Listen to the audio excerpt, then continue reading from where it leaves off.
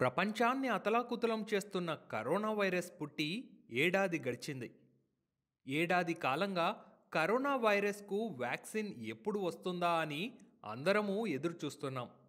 ఇప్పుడు అందరి ఎదురుచూపులు ఫలించే సమయం దగ్గర పడింది. మరో నెల రెండు నెలల్లో కరోనా వ్యాక్సిన్ అందుబాటులోకి వచ్చే అవకాశాలు ఎక్కువగా ఉన్నాయి. అన్నీ అనుకున్నట్లుగా జరిగితే జనవరి రెండో వారంలోనే వ్యాక్సిన్ వచ్చే ఛాన్సెస్ కూడా ఉన్నాయని తెలుస్తుంది. కాబట్టి వ్యాక్సిన్ను సువిశాల భారతదేశంలో మారుమూల ప్రాంతాలకు కూడా చేరేలా అందరికీ అందేలా కేంద్రం రాష్ట్ర ప్రభుత్వాలు ప్రణాళికను రచిస్తున్నాయి. వ్యాక్సిన్ను విడతల వారీగా పంపిణీ చేయనున్నారు. వ్యాక్సిన్ను నిల్వ ఉంచేందుకు అన్ని రాష్ట్రాల్లో ప్రభుత్వాలు ఏర్పాటు కూడా పూర్తి చేసుకున్నాయి. అన్ని ప్రాంతాలకు వ్యాక్సిన్ను చేర్చేందుకు ప్రత్యేక వాహనాలను కూడా సిద్ధం చేశారు.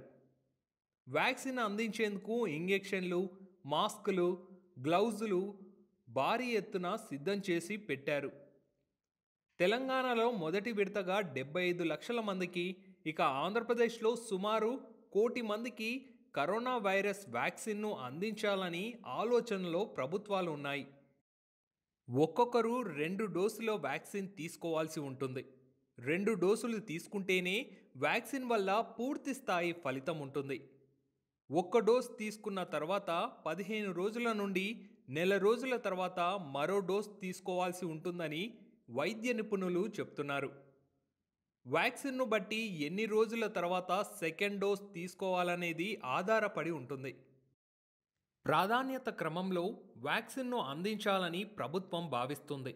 ముఖ్యంగా కరోనా వారియర్స్ అయిన వైద్య సిబ్బంది డాక్టర్లు పోలీసులు పారిశుద్ధ సిబ్బందికి వ్యాక్సిన్ అందించనున్నారు. ఇదే సమయంలో సీనియర్ సిటిజన్లు దీర్ఘకాలిక వ్యాధులతో బాధపడుతున్న వారికి కూడా ముందుగా వ్యాక్సిన్ అందించాలని ప్రభుత్వం నిర్ణయించింది.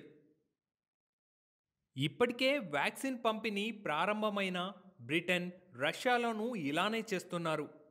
కరోనా వారియర్స్ను ప్రభుత్వమే గుర్తించి వారికి వ్యాక్సిన్ అందించే అవకాశం ఉంది ఇక వ్యాక్సిన్ కావాలని అనుకునేవారు యాభై ఏళ్ళకు పైబడిన వ్యక్తులు లేదా దీర్ఘకాలిక వ్యాధులతో బాధపడుతున్న యాభై ఏళ్ళ లోపు వయసున్న వారు తమ పేర్లను నమోదు చేయించుకోవాల్సి ఉంటుంది. ఇక ఇందుకుగాను ప్రభుత్వం కోవిన్ అనే యాప్ను రూపొందించింది.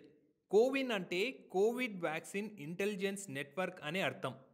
ప్రస్తుతం ఈ యాప్లో రాష్ట్ర ప్రభుత్వాలు కరోనా వ్యాక్సిన్లకు సంబంధించి సమాచారాన్ని నమోదు చేస్తున్నారు.